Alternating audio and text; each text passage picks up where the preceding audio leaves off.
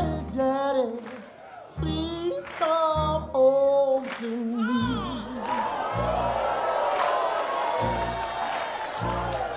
I'm on my way, crazy as I can be.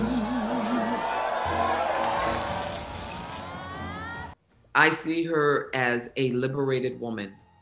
Liberated meaning she was she was not a woman of her time because she was a woman who absolutely unapologetically knew her worth.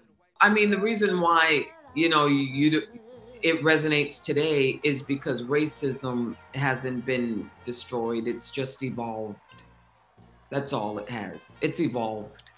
It's evolved now through, you know, I mean, you know, you can't go through 400 years of systemic racism of policies, uh, practices, and not have it resonate um, today in education and how um, and how women are paid and how Black people are paid, um, in in how how worthy we're seen